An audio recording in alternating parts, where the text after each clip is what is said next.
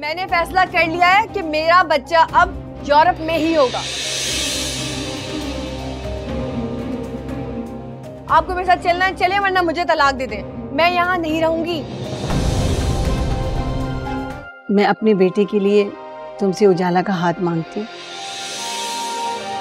एक एक करके सब छोड़कर जा रहे कैसी बातें करी आंटी आप?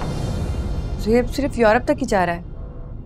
गॉड फॉरबिड आप तो ऐसे कह रही हैं जैसे नवीन की तरह